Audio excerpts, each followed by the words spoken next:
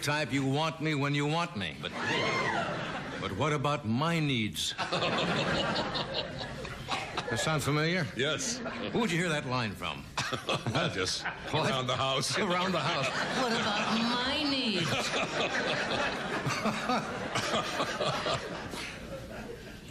All right, Tom. Very well. Wow, what, what vitality. Uh, I feel. What? How are you? I'm fine too, Tom.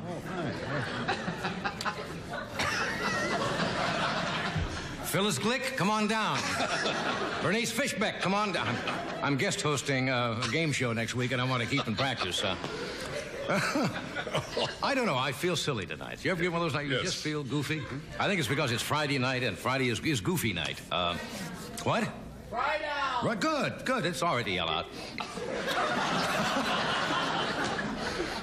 You know, I, I thought this morning I got up and I was sneezing a little bit because I guess this is the flu season. It's always the flu season somewhere.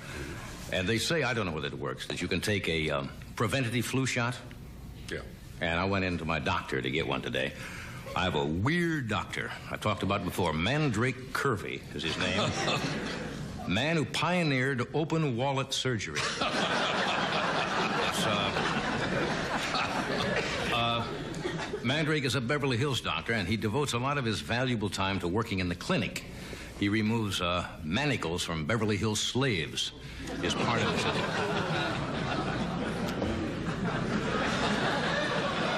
Thanks, doctor, but a little weird. You know, when you get a shot, for some reason they don't give it to you in the arm. They give it to you, as you know. I guess, well, why do they do that? I don't know. What are you looking at me for? I'm not a doctor. Well, no, but I mean, when you get a shot, you don't get it in the arm. You usually get it in the, uh, the gluteus maximus. Yes. I guess that area. There's more of that than there is of your arm. Certainly is of yours. you brought it up. I know. uh, now, what Kirby does is really weird. When you drop your pants and he gives you that shot, he calls in the other patients in the waiting room so they don't get bored. well, there's some good news and some bad news tonight. The bad news is the unemployment in the auto industry has reached new heights. The good news is Japan is advertising for American gardeners.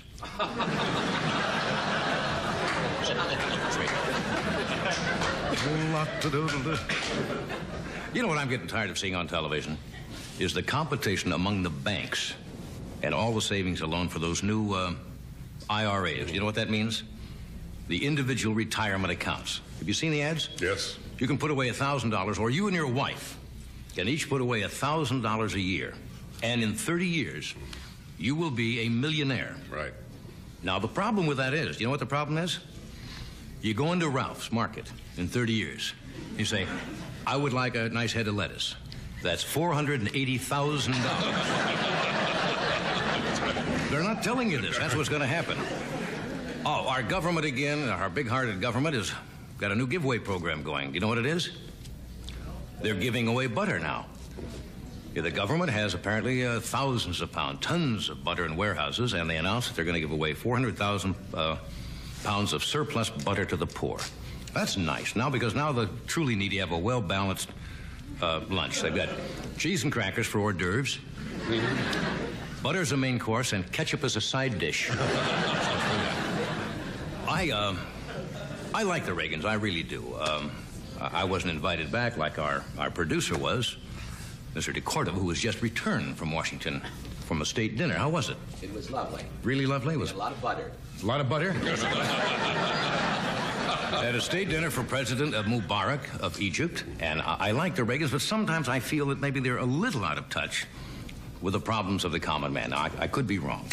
Uh, for example, Nancy thought it would be a great idea to give butter to the poor. She says now they'll have something to dip their lobster tails in.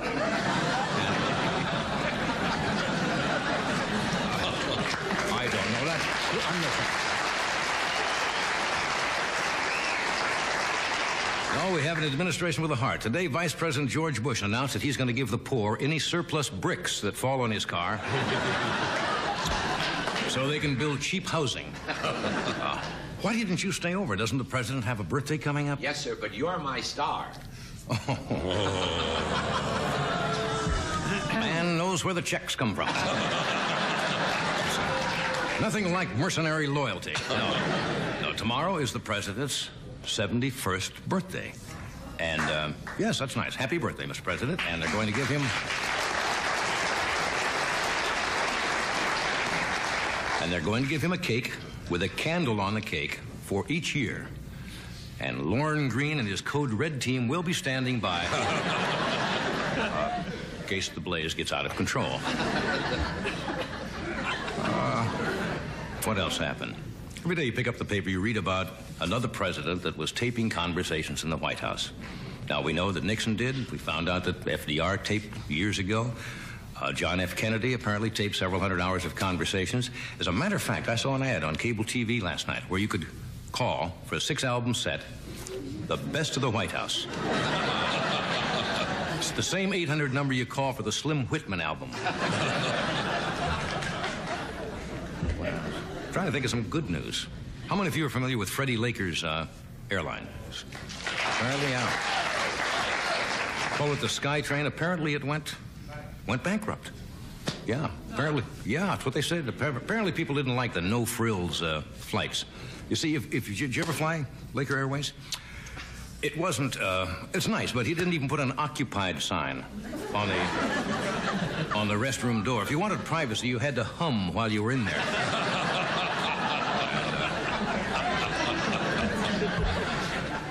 We have an exciting show tonight. Later on, the Hunchback of Notre Dame will be out here and tell us that he wears Levi's because he needs a, a skosh more room for his hump. anyway, tonight on the show, we have a good friend of mine, Mr. Dick Cavett, is with us tonight. We have. Uh, a very funny man. John Byner is here. And delightful lady. Delightful lady who has her own show and uh, is going to teach us a little about gardening and so forth. Miss Thalassa Cruso is here. So stay where you are. Yeah, and her coming up. We'll be right back.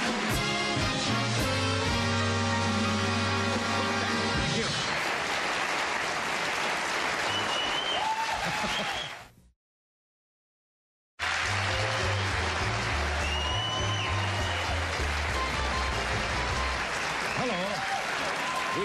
waiting for you. You want to, uh...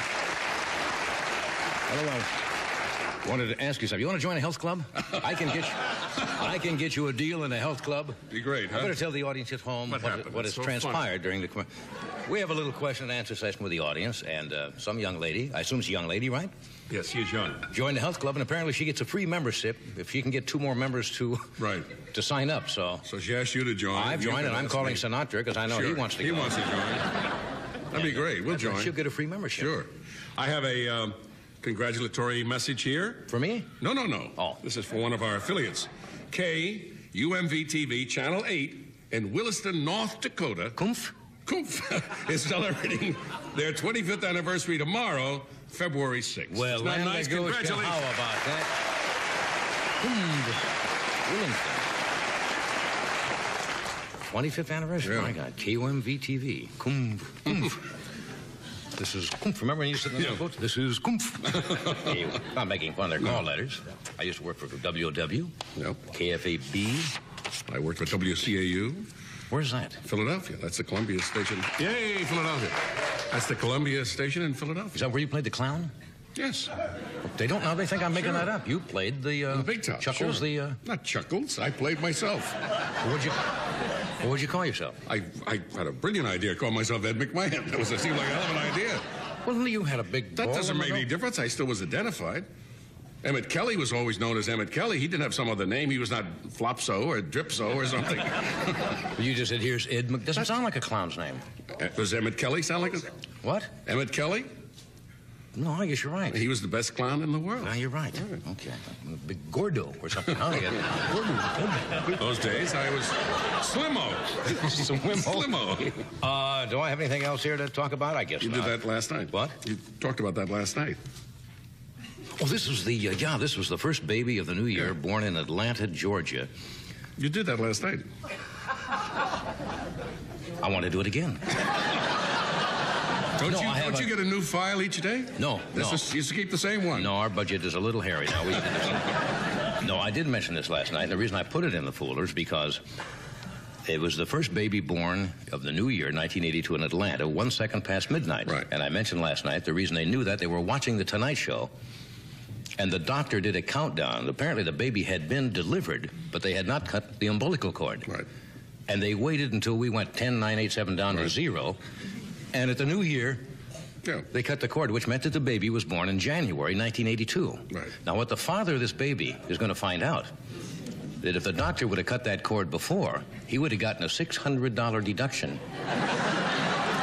Well, that, that of course comes off the doctor's medical bill. I was going to doesn't it? say, uh, because right? That's right. Because even if your baby is born up to the last second of the year, you get a $600 dependence Yeah. deduction. And since they waited, That's right. this man should really And put in. technically, if the baby was, you know, there, I think he is already born, don't you think? What do you mean? If he's there. You said the baby had been delivered, and he, but the cord had not been cut. Yes. Well, is he not then born when he's delivered?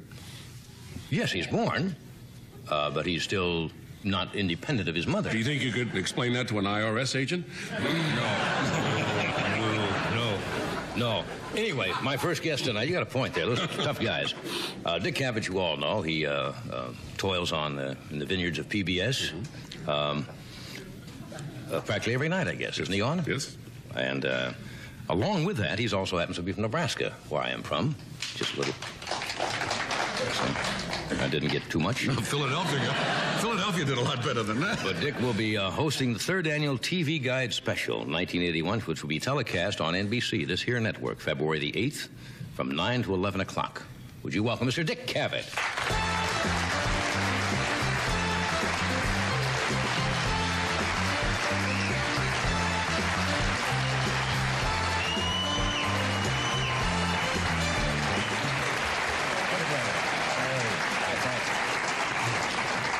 I was so hoping when I saw you in the hallway wearing your little jogging shorts. A man was in the hallway in jogging shorts that you were going to jog out here. Have you, have you been out doing your My little jogging shorts? Yes. Yeah.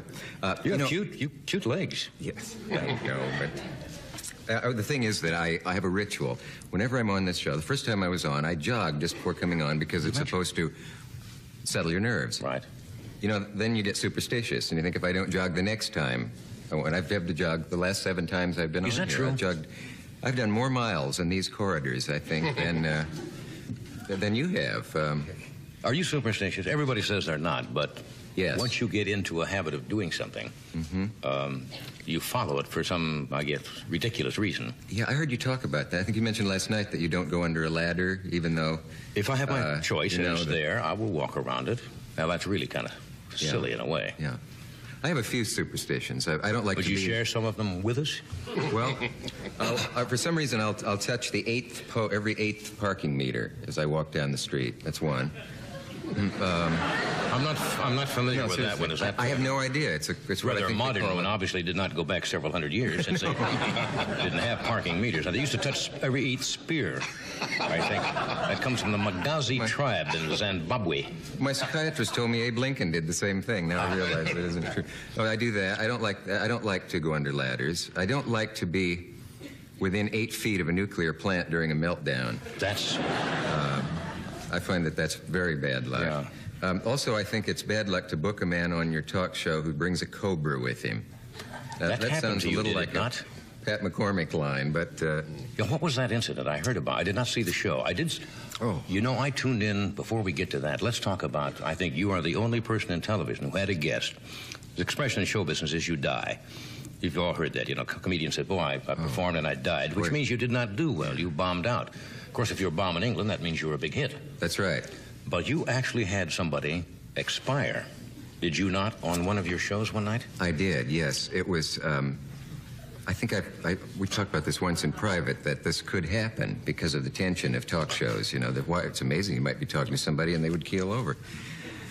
Uh, the fates fingered me How as the talk show host. Uh, about six years ago, I would say. Now, this is a morbid and sad subject. Well, it's I been some guarantee time. you that so- someone will laugh within the next few minutes when I tell you that he was a health food expert.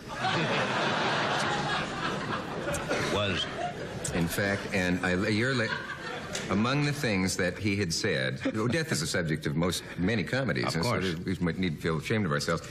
Among the things he had said in the previous half hour was that he felt like he was 20 years old, something else, and that he planned to live to be 100. and um, I was, my next guest had come out and was sitting where I am. I was where you are. Right. And he was where Ed is. And suddenly, and a snoring sound. The way someone will on a panel, you know, when they want You to make a comment on, you know, they'll go, oh. You're right. and I knew instantaneously that it was bad. And I remember standing up. Why did you know? Did, was there just a. Maybe if you're that close to death, you somehow intuit it Yeah. without really realizing it. But I found myself holding his wrist. I don't remember getting up, and I don't know what I was going to do. I don't know what a pulse is supposed to feel Yeah. like or where to find it or anything. Oh, you know that when there isn't one, though, Yes. Yeah. that the man is probably. That's the time to get out your four-leaf clover. Right. Uh, speaking of superstition, but uh, it is a curious feeling. What did you do? How uh, did you handle it? This was you were taping, obviously. Yeah, so you- I was taping, and uh, the control room, of course, couldn't see because they're in another part of the room. They can't see directly through a window, so they kept the cameras on. So I remember cameramen looking through the camera the whole time at, at this. And I remember the audience laughing because they thought it was a joke long before I, um, after I realized they began to. And then a kind of wave went back through the audience, almost from front to back. And the next thing I knew, some firemen had been summoned from across the street, and they were pounding on his chest and so forth. And I remember thinking, I must call Johnny.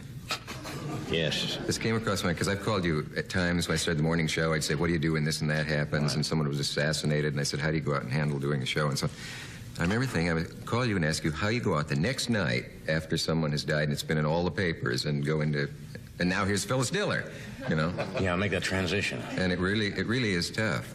That has Um, got to be a very strange feeling. The other strange thing is that in my dressing room later, I found many articles from his pockets in my pockets. Uh, someone had clearly handed them to me Oh, as I see, the and you just- person was taken away. And um, The man was not a young man anyway, was he? no, it He was, uh. J.I. Rodale, Yes. who published Prevention magazine. Well, s- super glad to hear that. But that's some time ago, and Yeah. let's, let's hope he's better. Yeah.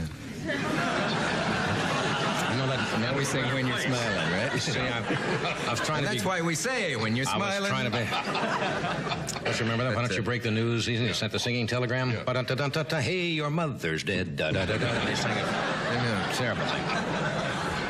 Death gets strange reactions from people. Did you hear thunder or lightning? I, God, I hope not. Uh, let me do this Sure. first, something you don't have to stop and do in your show. True. Um, because we have to pay for this.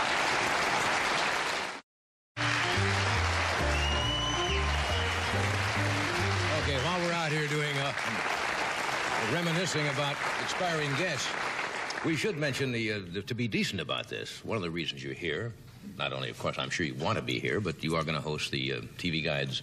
What is this? A retrospective of the past year in television? Yeah, this is the third time they've done this, and it's a look back at the previous Yeah. year. But it looks back farther than the previous year. It looks back at the whole history of television, incidentally, as it goes along.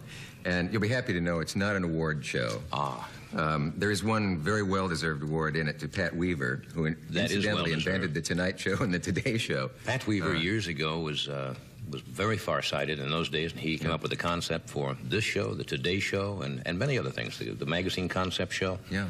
I thought it was good to mention him because had it not been for him, neither you nor I would be sitting here That is to true. mention him. That is true.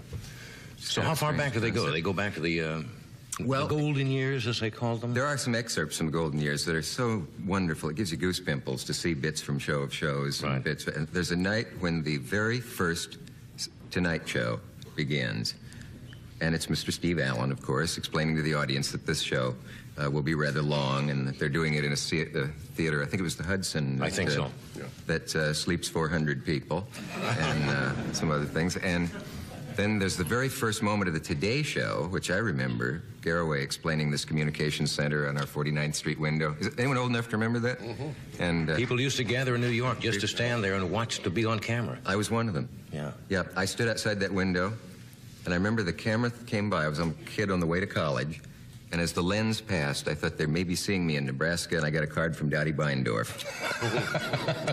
Had I took to the prom, and she saw me on that.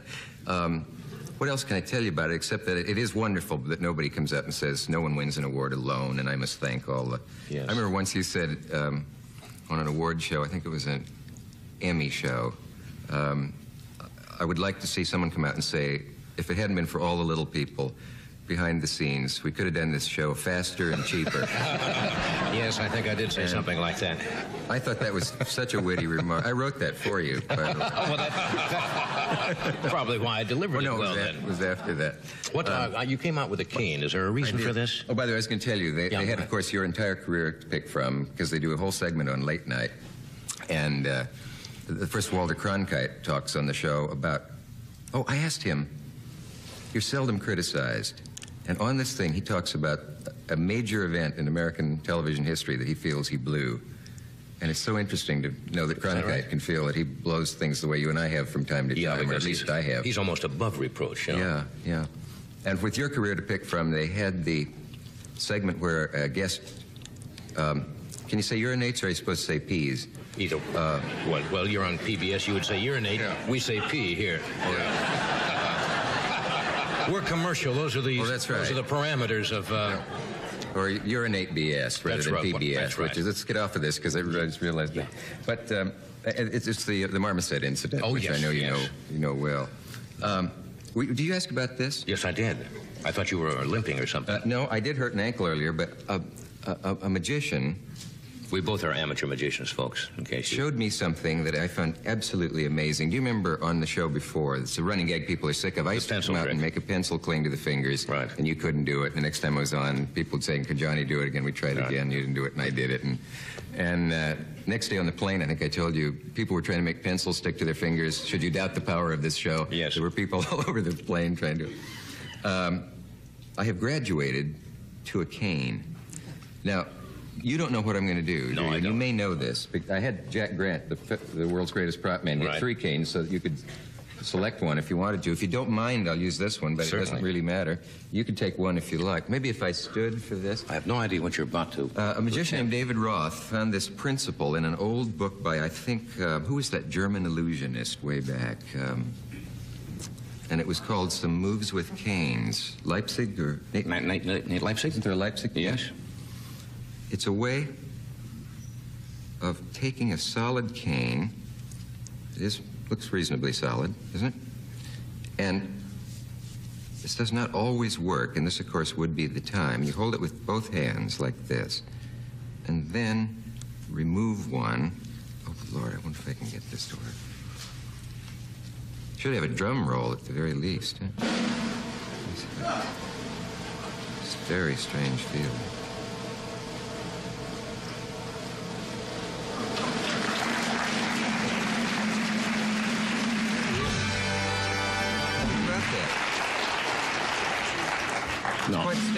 Aren't you simply balancing that on the little fleshy part of your Well, here. of your hand? You don't need all of this jazz No. with it. I mean, that's, That's, that's, that's to be accompanied by harp music. that's all phony. Let's get right to the Well, big don't stuff. point that out. Yeah. Fleshy part. Oh. I don't. Well, you- Yeah, there's a little- You can't have the thumb in front. Oh, I see. Oh, it would be cheating. There is a little fleshy part of the of the hand right there, was it not? Well, yeah, but it isn't going to sit on that. I mean, it's really strange. Do you think that? No, no, no, is that not weird?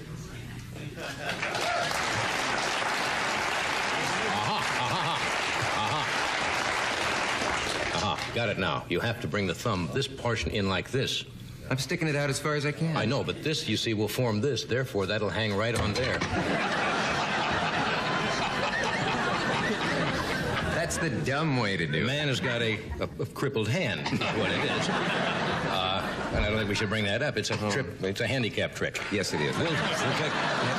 No, come What? on now. We'll be right back. John, but yes, Fred, I know we have to do this. We'll be back.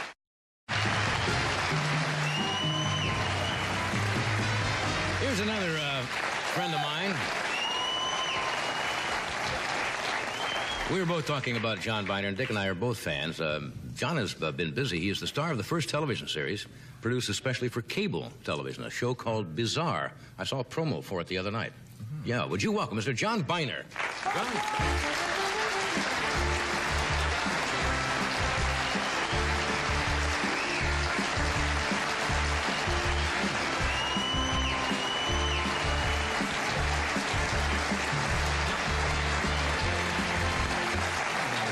Right, right away. Oh, I faked it. It's Oh, Made a piece of tape. fellas backstage, a you know. true magician never reveals his secrets. You sign that in blood as a youngster. I know that. The Yes. thing that Shocking. the thing that bothers me is when I find out about a trick. You know, sometimes people will tell you about. It's not much fun, is it? No, nothing's fun after that. You You're just sit there amazed. You say that's the most wonderful thing I've ever seen. Tell me how you did it. And the guy tells you, you go, oh, is that all? Yeah, And it's over. That's right. The charm is. How, what, I saw a promo for your show the other night. Yeah, for Bizarre. We're having fun doing it. It's the third It looked season. weird. Yeah. Yeah. It is weird. It's bizarre. Is what it's called. That's why they call it that, It's yeah. weird. It's crazy and uh, wild. Now, why did you do this for cable? Is this something you could not do for Uh, the it general? gives me uh, it gives me the opportunity to. Um, first of all, we're allowed to be uncensored. You know, we can do Yeah. all kinds. In fact, uh, the little clip I sent here was didn't get past your censors. no, they didn't tell me about that. Yeah, well, they were afraid to. Why was it? Uh, I think it was the sound of a clank that upset them. You know, but Yeah. you had to be there. Know, Sure. know the joke, John. Uh-huh. But it's fun to do. I go up to Toronto, do eight weeks um, of shows, uh, 24 shows in eight weeks. So Yeah. you get. is that what you've been doing? I have not seen you for a couple of years. Yeah, I did a lot of soaps and stuff like that for a while. Yeah. And then I, I got into this thing, and I love it because we can do and have fun. And there are no uh, commercial people coming around saying you can't do that, you can't. Yeah. You know that. Freedom. Freedom. Yeah. You're still doing your act at all? You go to No, everybody, you're talking about people dying. Uh, Dick asked me if I still did Alexander King. Remember Alexander King? He said, talk like Alexander- this all the time. Talk about his wife. She played the drums and sang is repulsive, the most ridiculous thing. Anyway, a guy from New York. See how long he's been forgotten. gone? Yeah, Yes. I know. But that's it. My act died. because all the people. Everybody I ever did my act died. Ed Sullivan you used Ed to do. Ed Sullivan, George Jessel, John Wayne. I just think about people now and they die. No, that's a fact. I thought about doing somebody about, you know, a couple months ago and, hmm, They went. yeah. You you know what impressionists always do at that point? They say, now let's take a trip through those pearly gates and Yeah. see who's Yeah, there. memory lane. And they Show go, business heaven, I think. There was a time, you know, they go through it. Sitting over on this cloud at Sullivan. You know, you can do them, but nobody knows it because you're a cookie. You can do them. People still request uh, uh, deceased. I think Frank Gorshin, maybe to somebody said, goes to show business heaven. Yeah, they as soon as do. he That's it. said that, I Right. fall out of my seat Yeah, and yeah, it they takes me have 10 little- minutes to recover. They have a little chart with violins they play, and over on that Say, cloud. now Wallace Beery. Oh, man, Wallace Beery's a long time ago. through those gates 50 years ago. Yeah. So, I, always- I always everybody- question the assumption that all those people are in heaven. I mean, I knew some of them. and- Yes. Might not have gone. Don't you do anybody currently anymore? Well, I do, you know, I do a lot of people like Rod Steiger. Rod Rod Steiger, Steiger. that's wonderful. I love to do Rod Steiger, especially when it gets better. Don't, don't do that, you look. I see him over in the coffee shop over in Malibu. You're kidding. Let's have a toast, uh, toast and tea, please. Uh, no, no butter on the toast. Look, you, you put butter on the toast. I don't want, I want, I want just a plain, plain, plain toast. but you know, you do people, and um, but the bulk of it, the bulk of it are people that I admired when I was a kid, and I started doing impersonations of, you know, way back to Al Jolson. John like Barrymore, that. Don- Lionel Barrymore. Lionel. Barrymore, people, mm, all that stuff. but they're all gone now, and mm, showbiz heaven. That's a fact. Remember the rumor was going around that, that George Jessel was going to do his own, had his own eulogy tape? Somebody had told that? me that before he passed away, Yeah, that he had taped his own eulogy. Yeah. And I don't think that was true. I don't. Here I am. You. Done, done many things for Israel. Yes, but I, I, I like to laugh about those things. They're fun. Yeah, Yeah, yeah. yeah. I people wonder are. what, the- what do you call the K sound in the back of the throat that you do in, in some of the, like with Jessel, like uh, like uh, the wonderful Sophie Tucker. It's a, it's a, the Oh, gloss- they. They call it guttural. Right? And Guttural. Refuse this guttural thing. the musicians like them because they're always on the job playing this chart. One bride and try. Yeah, but I don't. I don't study do anybody anymore. Why not? You're doing don't- I- well. oh, I started. I did Donahue. I do a takeoff Phil of Donahue? Donahue No, on, I on the show. that. Yeah, but it's just you know he's got the glasses and.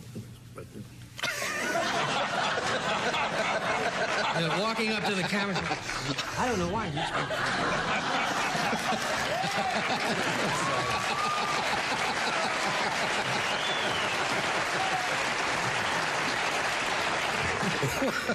What? Give me an idea what you do on this bizarre show that you can tell us about It's without getting us. Uh, Is it visual, verbal, little vignettes of things yeah? that go from one place to another. You know, old guy doing this and a, a little kid doing this, and a, you know, little, any anywhere it goes anywhere. Yeah. Yeah, up and down and around. It's fun, and it's great for me because I can do um, a lot of characters, and I get a chance to. Yeah, really You know, if I stayed and did a series here in town, I'd have to do the same character every week, as Yeah. you know. That's another thing I like doing about this show, and it's great. Torelli, We've talked about You you. had a man with a cobra on. You had a man with I a don't know cobra what that was for. That's what you don't want. You Don't had get a man with a cobra? You- The cobra. Why? Oh, I. We, we were starting to talk about this earlier. I once had a guy come on with a 15 count 'em foot cobra. I think it was 12, but that's enough. And the thing moved around the stage, and the producer had said, "Now don't worry about this." And I knew the man was in a white coat, and he should have been attended by someone. Right. Someone. And the thing started to come for me, and I saw him in another language that I did not understand but understood say to his assistant, Get him, get him, get him. Have you ever seen a 12 foot cobra come at you? It was the first time I. I It's don't, not- not- I don't like to quit work drinking. with animals No, for I- that reason. No. I'd rather work with want- stuffed animals than real animals. And The tip stuffed off- kids, The tip off is usually when the No, really. When I the mean, trainer working with kids and animals is very tough. when the when the guy brings the animal and says to you. He's used to doing a lot of shows. You won't have any trouble. Mm. That's when you call your insurance agent because you know the animal is going to either bite your face or do something. I was starting to do a scene with two chimpanzees, and, uh, and, the, and the trainer came over to me and said, This isn't going to work. He protects her. You're not going to get near her. You know, so let's be funny, okay? Get out there and be funny. And it was, ah! I was one of those. Later. I just said to the producer, I'm chicken. The other thing to watch out for is when the trainer says, I need this appearance. I really do. You know, I mean, it's going to mean everything to me, which, which means he's taking a big chance with your life. We had a we had a we had a jaguar on one night, and the trainer brought out this jaguar, good good sized jaguar, not a not a car, a real animal. and he was feeding the. He says he likes ice cream. He had an ice cream cone, and the trainer fed him the ice cream. And he says, "Why don't you try it?" And I looked down, and down the trainer's arm. Mm-hmm. Blood is dripping all the way down mm-hmm. off his fingers onto the carpet. And he says, Do you want to feed him? Said, No. Maniac, and real blood is mm-hmm. dripping. He says, They have a lot of scars, the trainers. Yeah. That's when you experience on camera incontinence. Yes. no, you've, have you finished all your shows, or uh, you, are you going back We and do forth? 24 a year. I, Yeah. uh, we'll go up again in May. Now, what do you do And when- now I'm working on a, a show called The Black Cauldron, a movie uh, for Walt Disney. Yeah? It's uh, animated, the largest they've ever done. Are you doing, is this I do a voices? a little character. I do a little character called Gurgi throughout. It's very nice. It's, it's a lot of fun. It's fascinating. I don't know where you get those towels. Where did you do that? I don't know. I asked him about I don't know. I've been first time he was on the show, he started doing yeah, this. I've done it for years. I used to do impersonations like that. John Wayne had going to circle uh, wagons, but... George Jessel many years ago. Where are you? Yeah, it's just a, a voice uh, we've talked about a lot of times. You must have been wonderful in school with that. Oh, a lot of laughs. Then you get down to the principal's office and he says, What's so funny? And you try to tell him, but the time between, it doesn't work. All right, let me do this. We'll be right back.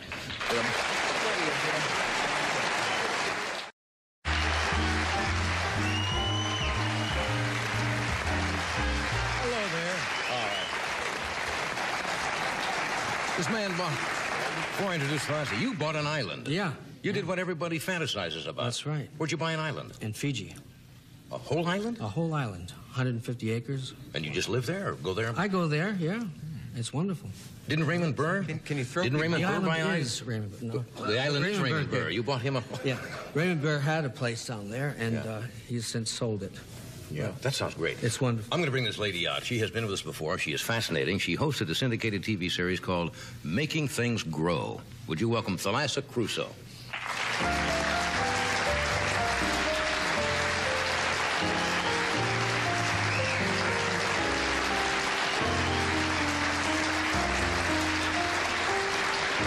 Oh, I feel pretty unsuited here. Why do you feel unsuited here? Well, I'm still alive, Yeah? And I'm not a professional. Well, yes, you so are. that I'm not sure that you and I shouldn't be standing there. Well, we'll go over there because Because you. that's where you're at a disadvantage. Yes, because I know nothing. That's right. I'm on your turf, so to speak. So to speak, yeah. Yeah. You're from, uh, it was almost, almost a pun, but not, not too good. You're, you're from Boston. What do you do back in Boston this kind of weather? You don't grow things, do you? You make it mainly fall on the ice. Yeah. And then you have a little stiff upper lippery and pretend you haven't fallen on the Yeah. ice. Are you still doing your, your, your show, the syndicated show? Making I'm not for- making it, but it's showing in places. Yeah. Shows all the time. Don't you want to make new shows? And Oh, I'd love to, but then you have to convince people. Ah. They're not awfully fond of the living dead making shows. What are you talking about? You look fine. Where? Never say that on the air. Oh, you're right. Yes. Yeah, Okay. yeah. Would you would you really feel more comfortable? I think get a feeling you don't Too feel many- well- comfortable here. Oh, it's fine by me. Yeah, co- What? Don't we do that? You want to do the commercial first? the way, then. Then we'll go over. Can, can they all come with us? no. Good. Don't store Thalassa used to be with the. UN Diplomatic Commission. Uh, we'll do this, and then we'll be back at the garden and watch it grow. No, you can't come.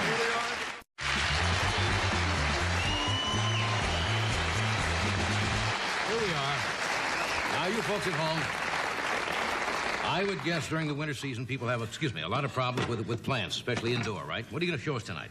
Well, I'm going to show you how uh, one thing that seems to be common to all of us, which is that we all have potted azaleas. You have them here, Yes. and they have them probably in Nebraska. Oh, yes. Yeah, uh, so on and so forth. And that by now they cost practically the national debt. Mm-hmm. And when they look like this, well, That's that, these are in bad shape, right? well, this one sort of had it. It's been very nice, but I think nothing of that pot. Do you? Uh-huh. Well, it's I had sort know. of dappled life. That's bad, huh? Well, it's pretty grim. All right. What are we going to do? Well, the way to do it is really you've both got to do something about the roots, give them some food, Right. and you've also got to do something about the tops. Mm-hmm. What so, do you want do? to start to cut that back for me? Cut this back. Yeah. What do I cut? Branches. What do you think? You don't have to be so direct. I mean, just, I mean, just Frankness like, like- always, Like one of these, I want to cut them back that much. Nah. Yep. Well, yes, it's going to have a nice new life. Now, suppose you try and think. Mm-hmm. Cut, cut back to some green growth. Just don't hack. Yes, Mommy. Yeah. Oh, I see what you mean. Don't See what cut I the mean? main branches. Now, now, if you do that to that, Yeah. uh, in a reasonable way, you will find that you, it. that you it throws out an enormous amount of new growth. No, don't make the poor thing. Goodness sake. Look, come back to where there is some life. Huh? huh? Okay. Yes. Yes.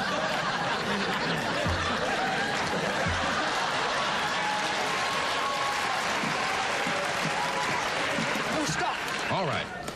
Will you kind of tell me where the life is there? Well, there ain't none now. Over there? Oh, well, I... Okay. All I- right, stop a minute. Okay. Let, let me do something else. Now, I didn't like. It's usual to be civil to your guests. Yeah, you're right. Now, this one, which is also sort of had it, I want to get into that part which is smaller Well, why don't you put it in there? because it's too big. That's ah, why. well, then trim some of that off. No, I'm going to get do something much it. See, I'm going to take the soil. Won't- won't that kill it? Nope. It's going to improve it, believe it or not. No. Listen, I'm a patient woman. Yes. I heard you saying things about gardeners. Patience, thy name is woman. All right. Now, do you have to put new you- soil in there? Yeah, now do you mind shaving that off for me? All right. Just kind of. Just cut it down a little bit. That's fine. It's not a birthday cake. You run a tough school, Thalassa. Okay, put it in. Believe it or not, it won't hurt it. Put that in your hair in a minute. Now, I'm going to have to take this down further. If you cut, we've had this conversation a great many times. Yes, we have. If, we, if you cut this off, so, and put it in, Right. and ram it down, Right. what is it, dear Johnny, that you also have to do? Water it. No, not. Fertilize it. Heavens, no. Sing to it. I don't know. taking my best shot. Uh, Take the top back, too. trim this one back. Uh-huh. To, to just where the green is. Or where it's growing. Learning. In other words, just be gentle. Oh, wait, Don't- now, look, now you've got a perfect example. Show the nice audience. Right. You see, now where are you going to cut it? I'm going to cut it right here. No, you're not. Try and think. Uh, um, cut it under here. No, sir. How about here? Right toward it. you're not going to. You're not Well, going to need a you said jaguar right, if you, you do said that. right where the green is. Well, isn't that? Don't you think there? Yes, yes, that's a good place. Nice move. You talked about fertilizer just now. Can I tell you something for the moment? Mm-hmm. When you cut this thing back, may I do it for a second, just to Sure. do it at speed?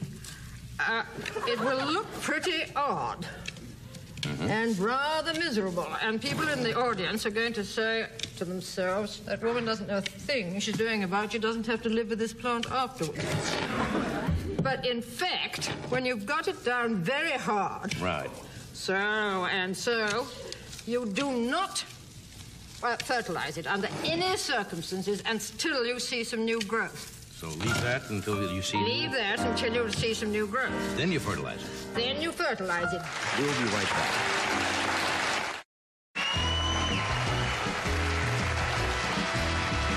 I'm going to put that in my office. Will that do well? Wonderful.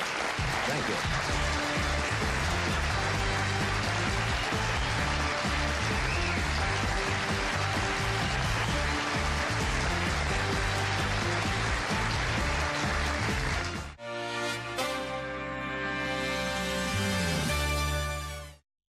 I'm humbled by that applause. $600 deduction. Well, that, that of course comes off the doctor's medical bill. I was going to doesn't say, Yes. uh, because, right? That's right. Because even if your baby is born up to the last second of the year, you get a $600 dependency Yeah. exemption. And since they waited, That's right. this man should really And put in. technically, if the baby was, you know, there, I think he is already born, don't you think? What do you mean? If he's there. You said the baby had been delivered, and he, but the cord had not been cut. Yes. Well, is he not then born when he's delivered? Yes, he's born, uh, but he's still not independent of his mother. Do you think you could explain that to an IRS agent? No, no. No. No. Anyway, my first guest tonight, you got a point there. Those tough guys. Uh, Dick Cavett, you all know, he uh, uh, toils on the, in the vineyards of PBS. Um, uh, practically every night, I guess, isn't he on? Yes. And uh, along with that, he's also happens to be from Nebraska, where I am from. Just a little. So, I didn't get too much. Philadelphia. Philadelphia did a lot better than that. But Dick will be uh, hosting the third annual TV Guide Special, 1981, which will be telecast on NBC, this here network, February the 8th, from 9 to 11 o'clock. Would you welcome Mr. Dick Cavett?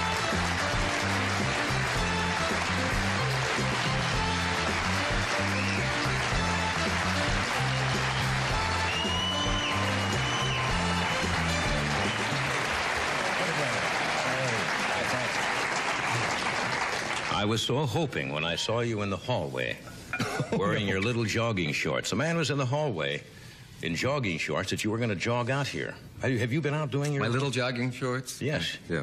Uh, You have know- cute, you cute legs. Yes, I know, but uh, the thing is that I, I have a ritual. Whenever I'm on this show, the first time I was on, I jogged just before coming on because it's supposed to settle your nerves. Right.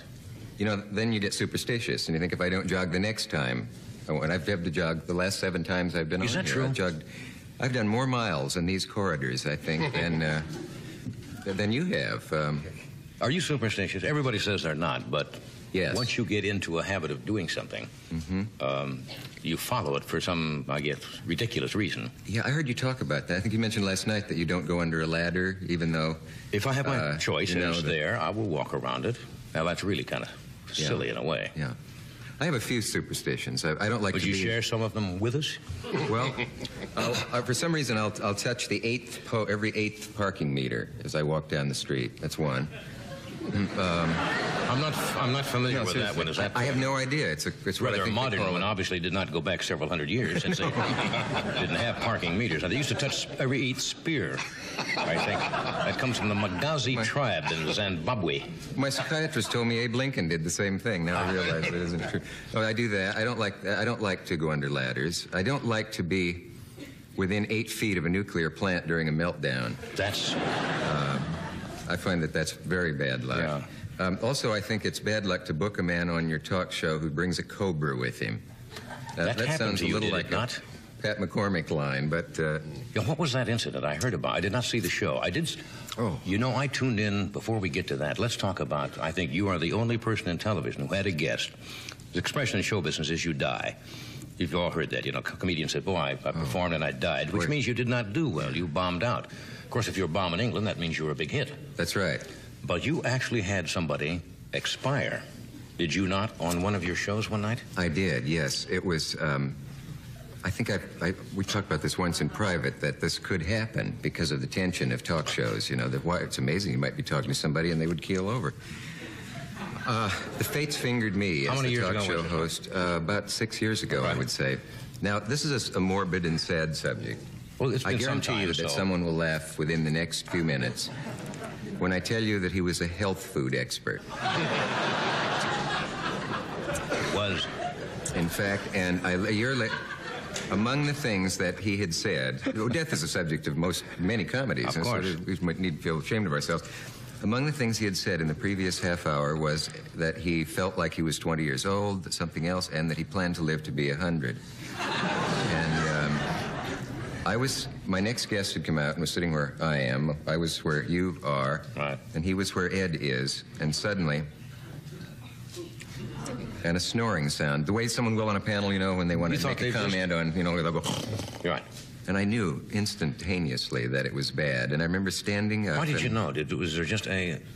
Maybe if you're that close to death, you somehow intuit it Yeah. without really realizing it. But I found myself holding his wrist. I don't remember getting up, and I don't know what I was going to do. I don't know what a pulse is supposed to feel Yeah. like or where to find it or anything. Oh, you know that when there isn't one, though. Yes. Yeah. That the man is probably. That's the time to get out your four-leaf clover. Right. Uh, speaking of superstition, but uh, it is a curious feeling. What did you do? How uh, did you handle it? This was you were taping, obviously. Yeah, so you- I was taping, and uh, the control room, of course, couldn't see because they're in another part of the room. They can't see directly through a window, so they kept the cameras on. So I remember cameramen looking through the camera the whole time at, at this. And I remember the audience laughing because they thought it was a joke long before I, um, after I realized they began to. And then a kind of wave went back through the audience, almost from front to back. And the next thing I knew, some firemen had been summoned from across the street, and they're pounding on his chest and so forth. And I remember thinking of taking a solid cane. It is, looks reasonably solid, doesn't it? And this does not always work, and this, of course, would be the time. You hold it with both hands like this, and then remove one. Oh, Lord, I wonder if I can get this to work.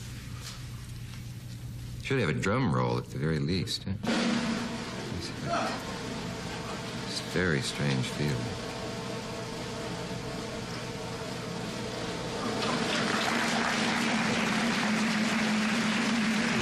What about that? no. Quite astounding, isn't it? Aren't you simply balancing that on the little fleshy part of your Well, here. of your hand? You don't need all of this jazz No. with it. I mean, that's, That's, that's, that's to be accompanied by harp music. All phony. Let's get right to the Well, big don't stuff. point that out. Yeah. Fleshy part. I don't. well, you, Yeah, there's a little- You can't have the thumb in front. Oh, I see. Oh, that There- would be cheating. There is a little fleshy part of the of the hand right there, was it not? Well, yeah, but it isn't going to sit on that. I mean, it's really strange.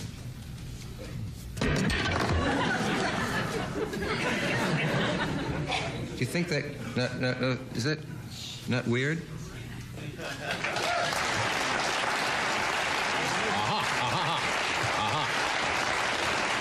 Aha, got it now. You have to bring the thumb, this portion in like this. I'm sticking it out as far as I can. I know, but this, you see, will form this. Therefore, that'll hang right on there. That's the dumb way to do it. man has got a, a, a crippled hand, is what it is. Uh, and I don't think we should bring that up. It's a trip. It's a handicap trick. Yes, it is. We'll, we'll take. No, come on now. We'll be right back, John. But yes, Fred, I know we have to do this. We'll be back.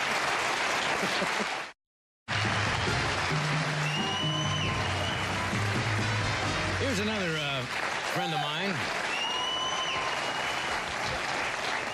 We were both talking about John Byner, and Dick and I are both fans. Um, John has uh, been busy. He is the star of the first television series produced especially for cable television, a show called Bizarre. I saw a promo for it the other night. Mm-hmm. Yeah, would you welcome Mr. John Byner? John.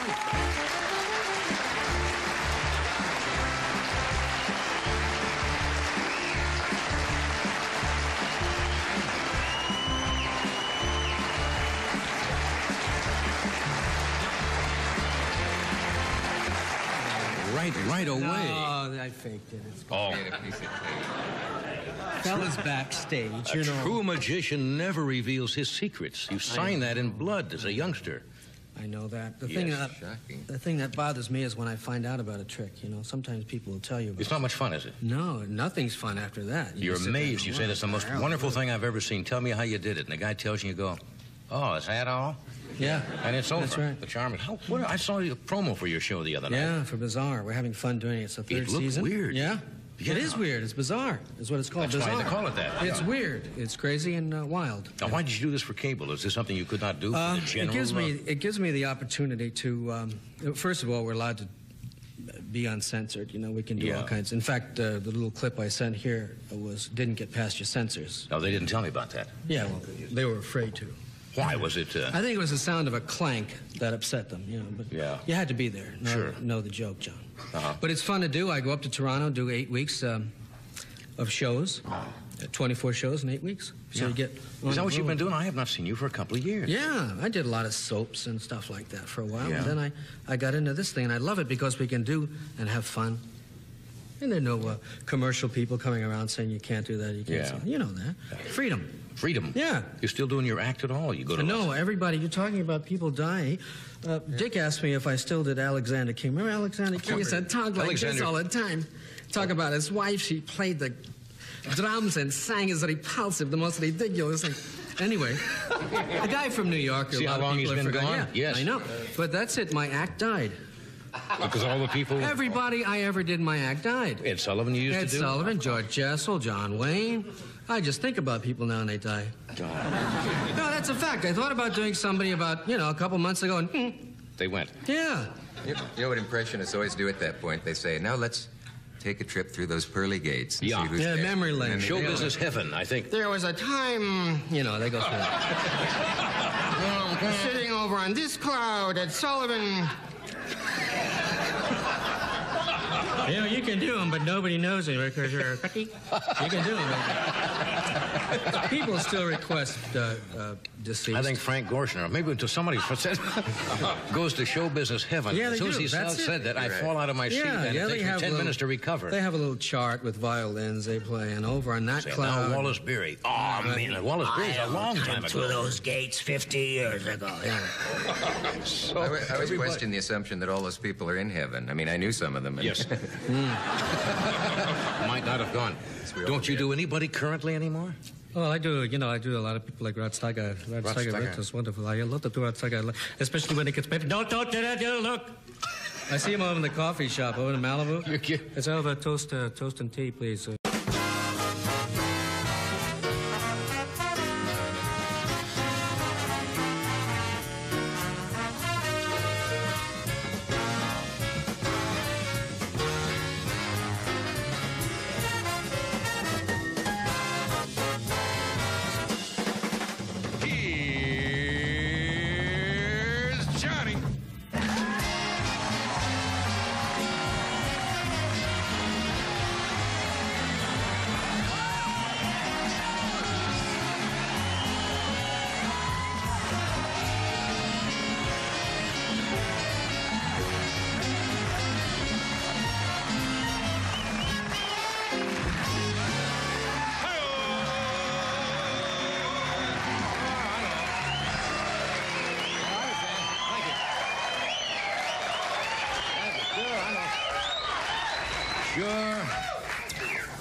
type. You want me when you want me. But, but what about my needs?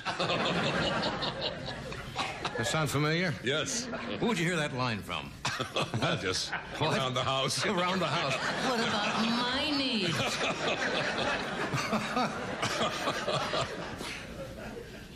All right, Tom. Very well. Wow. what vitality. Uh, I feel. What? How are you? I'm fine too, Tom.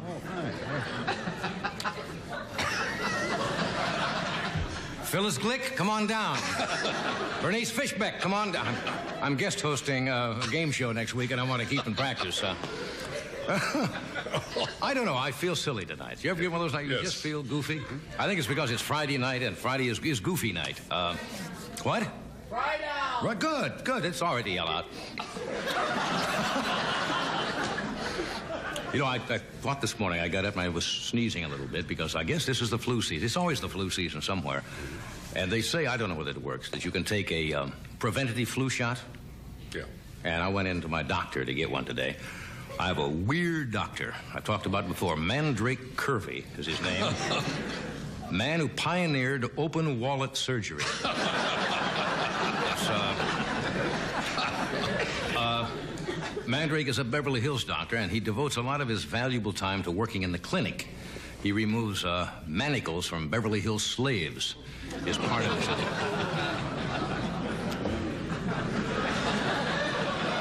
Thanks, doctor, but a little weird. You know, when you get a shot, for some reason they don't give it to you in the arm. They give it to you, as you know. I guess why, why do they do that? I don't know. What are you looking at me for? I'm not a doctor. Well, no, but I mean, when you get a shot, you don't get it in the arm. You usually get it in the, uh, the gluteus maximus. Yes. I guess that area. There's more of that than there is of your arm. Certainly is of yours. you brought it up. I know. uh, now, what Kirby does is really weird. When you drop your pants and he gives you that shot, he calls in the other patients in the waiting room so they don't get bored.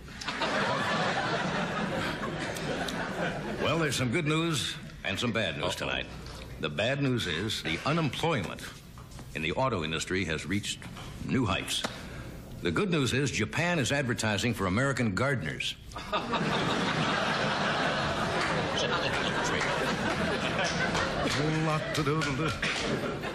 You know what I'm getting tired of seeing on television? Is the competition among the banks and all the savings alone for those new uh, IRAs. You know what that means? The individual retirement accounts. Have you seen the ads? Yes. You can put away $1,000, or you and your wife can each put away $1,000 a year. And in 30 years, you will be a millionaire. Right. Now, the problem with that is, you know what the problem is? You go into Ralph's Market in 30 years. You say, I would like a nice head of lettuce. That's $480,000. They're not telling you this. That's what's going to happen. Oh, our government again, our big hearted government, has got a new giveaway program going. Do you know what it is? They're giving away butter now. Yeah, the government has apparently uh, thousands of pounds, tons of butter in warehouses, and they announced that they're going to give away 400,000 uh, pounds of surplus butter to the poor. That's nice. Now, because now the truly needy have a well balanced uh, lunch. They've got cheese and crackers for hors d'oeuvres, butter as a main course, and ketchup is a side dish. I, um, I like the Reagans. I really do. Um, I wasn't invited back like our, our producer was, Mr. DeCordova, who was just returned from Washington from a state dinner. How was it? It was lovely. Really lovely? Was A lot of butter. a lot of butter? At a state dinner for President of Mubarak of Egypt, and I, I like the Reagans, but sometimes I feel that maybe they're a little out of touch with the problems of the common man. Now, I, I could be wrong. Uh, for example, Nancy thought it would be a great idea to give butter to the poor. She says now they'll have something to dip their lobster tails in. I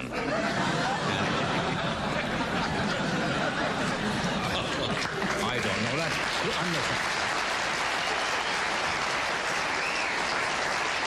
I'm No, we have an administration with a heart. Today, Vice President George Bush announced that he's going to give the poor any surplus bricks that fall on his car so they can build cheap housing. I must call Johnny. Yes. This came across my because I've called you at times when I started the morning show. I'd say, "What do you do when this and that happens?" And someone was assassinated, and I said, "How do you go out and handle doing a show?" And so, I remember thinking I would call you and ask you how you go out the next night after someone has died and it's been in all the papers, and go into, and now here's Phyllis Diller, you know, Yeah, I'll make that transition. and it really, it really is tough. That has um, got to be a very strange feeling. The other strange thing is that in my dressing room later, I found many articles from his pockets in my pockets. Uh, someone had clearly handed them to me. Oh, as I see, the and you just- person was taken away, and. Um, The man was not a young man anyway, was he? no, it mean, was, uh, J.I. Rodale, Yes. who published Prevention magazine. Well, I'm glad to hear that. But that's some time ago, and Yeah. let's, let's hope he's better. Yeah. I know. Now we say when you're smiling, right? See, I, I was trying to That's be. why we say when you're I smiling. was trying to be. You remember that? Why don't you break the news? You sent the singing telegram. Ba-da-da-da-da-da. Hey, your mother's dead. Da da da da. They sang it. Terrible thing. Death gets strange reactions from people. Did you hear thunder or lightning? I, God, I hope not. Uh, let me do this first. Something you don't have to stop and do in your show. True. Uh, because we have to pay for this.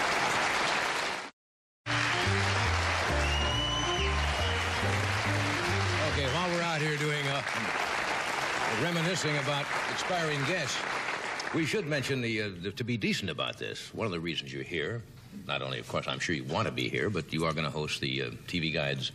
What is this? A retrospective of the past year in television? Yeah, this is the third time they've done this, and it's a look back at the previous Yeah. year. But it looks back farther than the previous year. It looks back at the whole history of Right. television, incidentally, as it goes along. And you'll be happy to know it's not an award show. Ah. Um, there is one very well-deserved award in it to Pat Weaver, who in- That incidentally invented the Tonight Show and the Today Show. Pat Weaver Uh, years ago was uh, was very farsighted in those days, and he came up with the concept for this show, the Today Show, and, and many other things, the, the magazine concept show. Yeah. I thought it was good to mention him because had it not been for him, neither you nor I would be sitting here That is to true. mention him. That is true. So Kind how far back do they go? They go back to the, uh, Well- the golden years, as they called them. There are some excerpts from Golden Years that are so wonderful. It gives you goose pimples to see bits from Show of Shows. Right. And bits. And there's a night when the very first Tonight Show begins. And it's Mr. Steve Allen, of course, explaining to the audience that this show uh, will be rather long and that they're doing it in a, uh, theater. I think it was the Hudson. I think that, so. uh, That uh, sleeps 400 people and uh, some other things. And then there's the very first moment of the Today Show, which I remember Garroway explaining this communications center on our 49th Street window. Is anyone old enough to remember that? And uh, People used to gather in New York just to stand there and watch to be on camera. I was one of them. Yeah. Yeah, I stood outside that window, and I remember the camera came by. I was a kid on the way to college, and as the lens passed, I thought they may be seeing me in Nebraska, and I got a card from Dottie Beindorf. My- I took to the prom, and she saw me on that. Um, what else can I tell you about it except that it is wonderful that nobody comes up and says no one wins an award alone, and I must thank all the. Yes. I remember once you said um, on an award show, I think it was an Emmy show. Um, I would like to see someone come out and say, if it hadn't been for all the little people behind the scenes, we could have done this show faster and cheaper. Yes, I think I did say something like that. I thought that was such a witty remark. I wrote that for you. by the way. Well, that, that- probably why I delivered Well, no, it well it was, then. it was after that.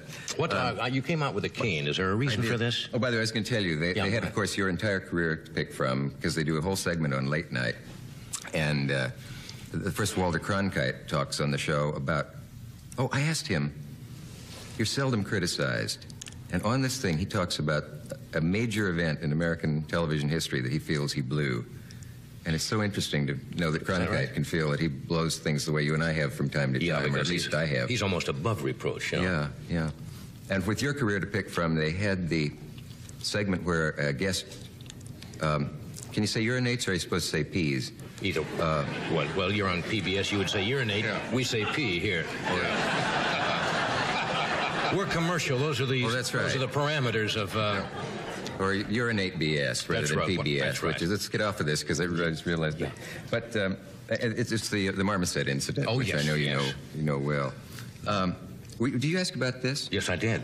I thought you were limping or something. Uh, no, I did hurt an ankle earlier, but a, a, a magician we both are amateur magicians, folks. In case you. showed me something that I found absolutely amazing. Do you remember on the show before? It's a running gag people are sick of. I used to come out trick. and make a pencil cling to the fingers, Right. and you couldn't do it. The next time I was on, people would say, "Could Johnny do it again?" We tried Right. again. You didn't do it, and I did it. And and uh, next day on the plane, I think I told you, people were trying to make pencils stick to their fingers. Should you doubt the power of this show? Yes. There were people all over the plane trying to. Um, I have graduated to a cane. Now, you don't know what I'm going to do. No, do you? I don't. may know this. I had Jack Grant, the, the world's greatest prop man, get Right. three canes so that you could select one if you wanted to. If you don't mind, I'll use this one, but it doesn't really matter. You could take one if you like. Maybe if I stood for this. I have no idea what you're about to. Uh, a magician named David Roth found this principle in an old book by, I think, uh, who was that German illusionist way back? Um, and it was called Some Moves with Canes. Leipzig or. Night, night, night Leipzig? Isn't there a Leipzig? Yes. It's a way. Why didn't you stay over? Doesn't the president have a birthday coming up? Yes, sir, but you're my star. Oh. Man knows where the checks come from. Nothing like mercenary loyalty. No. No, tomorrow is the president's 71st birthday. And, um, yes, that's nice. Happy birthday, Mr. President. And they're going to give him.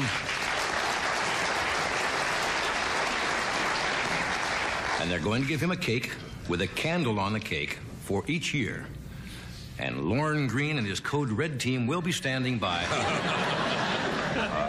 in case the blaze gets out of control. Uh, what else happened? Every day you pick up the paper, you read about another president that was taping conversations in the White House. Now, we know that Nixon did. We found out that FDR taped years ago.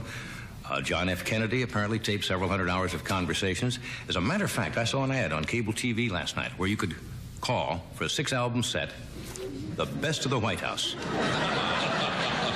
It's the same 800 number you call for the Slim Whitman album. well, trying to think of some good news. How many of you are familiar with Freddie Laker's uh, airline? Apparently out. Call it the SkyTrain. Apparently it went went bankrupt. Yeah, apparently. Yeah, that's what they said. Apparently people didn't like the no frills uh, flights. You see, if, if did you ever fly Laker Airways? It wasn't. Uh, it's nice, but he didn't even put an occupied sign on the on the restroom door. If you wanted privacy, you had to hum while you were in there.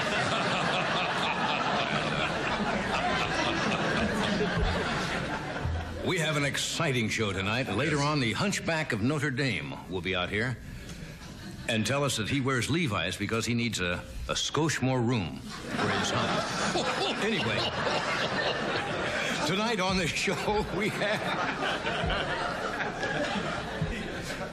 a good friend of mine, Mr. Dick Cavett, is with us tonight.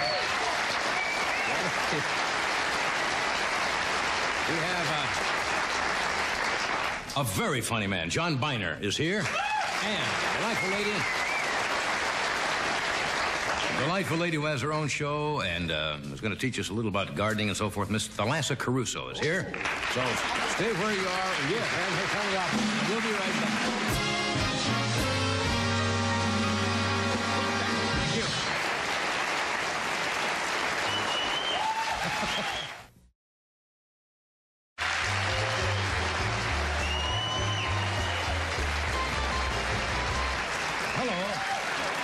certainly been waiting for you. You want to, uh...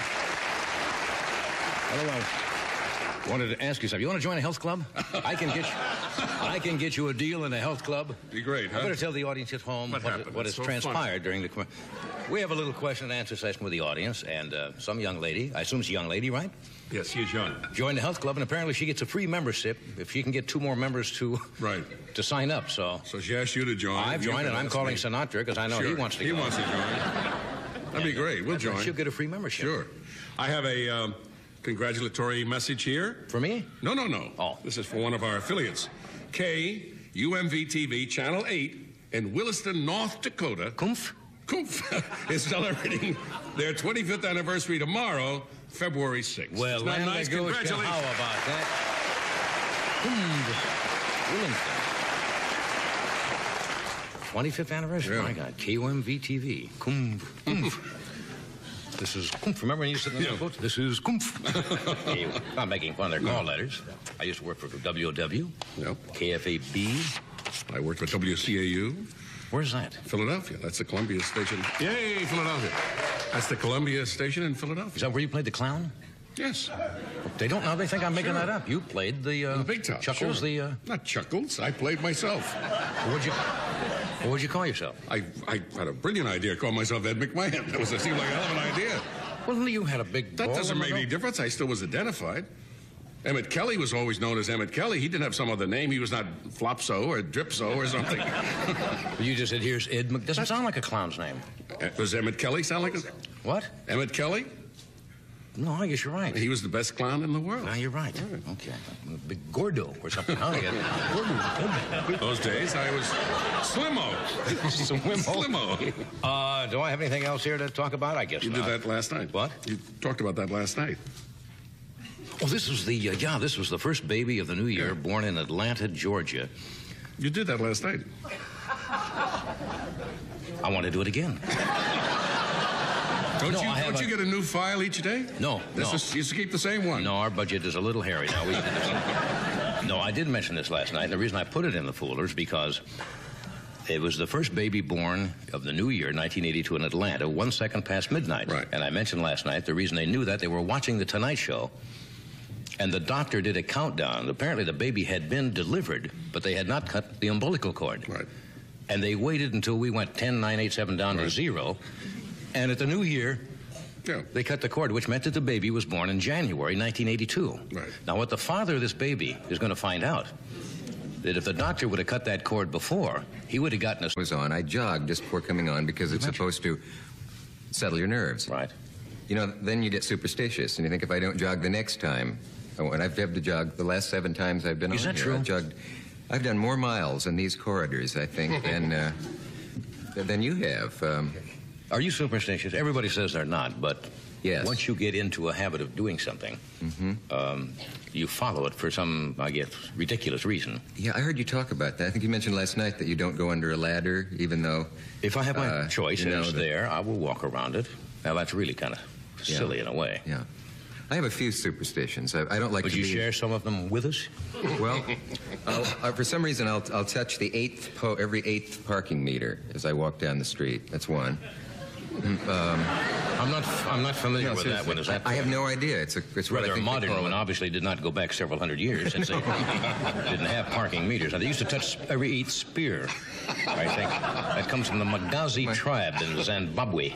My psychiatrist told me Abe Lincoln did the same thing. Now I realize it isn't true. Oh, I do that. I don't like. I don't like to go under ladders. I don't like to be within eight feet of a nuclear plant during a meltdown. That's um, I find that that's very bad luck. Yeah. Um, also, I think it's bad luck to book a man on your talk show who brings a cobra with him. Uh, That happened sounds a little like a not? Pat McCormick line, but uh, Yeah, what was that incident I heard about? I did not see the show. I did. Oh. You know, I tuned in before we get to that. Let's talk about. I think you are the only person in television who had a guest. The expression in show business is you die. You've all heard that. You know, co- comedians said, "Boy, I, I performed and I died," which means you did not do well. You bombed out. Of course, if you're a bomb in England, that means you were a big hit. that's right. But you actually had somebody expire. Did you not on one of your shows one night? I did, yes. It was, um, I think I, I, we talked about this once in private, that this could happen because of the tension of talk shows. You know, that why it's amazing. You might be talking to somebody and they would keel over. Uh, the fates fingered me How as the talk show host. Uh, about six years ago, I would say. Now, this is a morbid and sad subject. Well, it's I been some guarantee time. you that so- someone will laugh within the next few minutes when I tell you that he was a health food expert. was In fact, and I, a year later, among the things that he had said, death is a subject of most many comedies, Of and course. so we might need to feel ashamed of ourselves. Among the things he had said in the previous half hour was that he felt like he was 20 years old, something else, and that he planned to live to be 100. And um, I was, my next guest had come out and was sitting where I am. I was where you are, Right. and he was where Ed is, and suddenly, and a snoring sound. The way someone will on a panel, you know, when they want You to make a they just- on, you know, they'll go, oh. You're right. and I knew instantaneously that it was bad. And I remember standing up. Why did you know? Did, was there just a? Maybe if you're that close to death, you somehow intuit it Yeah. without really realizing it. But I found myself holding his wrist. I don't remember getting up, and I don't know what I was going to do. I don't know what a pulse is supposed to feel Yeah. like or where to find it or anything. Oh, you know that when there isn't one, though. Yes. Yeah. That the man is probably. That's the time to get out your four-leaf clover. Right. Uh, speaking of superstition, but uh, it is a curious feeling. What did you do? How uh, did you handle it? This was you were taping, obviously. Yeah, so you- I was taping, and uh, the control room, of course, couldn't see. because they're in another part of the room, they can't see directly through a window, so they kept the cameras on. So I remember cameramen looking through the camera the whole time at, at this. And I remember the audience laughing because they thought it was a joke long before I, um, after I realized they began to. And then a kind of wave went back through the audience, almost from front to back. And the next thing I knew, some firemen had been summoned from across the street, and they were pounding on his chest and so forth. And I remember thinking, I must call Johnny. Yes. This came across my because I've called you at times when I started the morning show. I'd say, "What do you do when this and that happens?" And someone was assassinated, and I said, "How do you go out and handle doing a show?" And so, I remember thinking I would call you and ask you how you go out the next night after someone has died and it's been in all the papers, and go into, and now here's Phyllis Diller, you know. Yeah, I'll make that transition. And it really, it really is tough. That has got to be a very strange feeling. The other strange thing is that in my dressing room later, I found many articles from his pockets in my pockets. Uh, someone had clearly handed them to me Oh, as I see, the and you just- person was taken away. And um, The man was not a young man anyway, was he? no, it mean, was, he uh, J.I. Rodale, Yes. who published Prevention magazine. Well, s- super glad to hear that. But that's some time ago, and Yeah. let's, let's hope he's better. Yeah. You know that. Now we sing when you're smiling, right? See, I, I was trying to That's be. why we say when you're smiling. I smiling. was trying to be. Let's remember that. Why don't you break the news? He sent the singing telegram. Ba-da-da-da-da-da. Hey, your mother's dead. Da da da da. They sang it. Yeah. Terrible thing. Death gets strange reactions from people. Did you hear thunder or lightning? I, God, I hope not. Uh, let me do this first, something you don't have to stop and do in your show. True. Um, because we have to pay for this.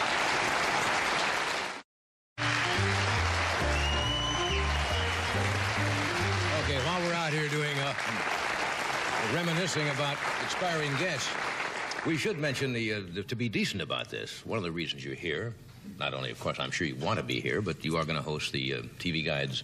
What is this? A retrospective of the past year in television? Yeah, this is the third time they've done this, and it's a look back at the previous Yeah. year. But it looks back farther than the previous year. It looks back at the whole history of television, incidentally, as it goes along.